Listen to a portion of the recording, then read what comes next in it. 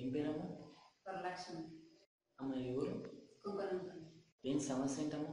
మెల్లు నడునొప్పులు కాళ్ళు తలనొప్పి. మెల్లొప్పులు ఎలా ఉన్నావు తగ్గింది. ఎన్ని రోజులు ట్రీట్మెంట్ తీసుకున్నావు మూడు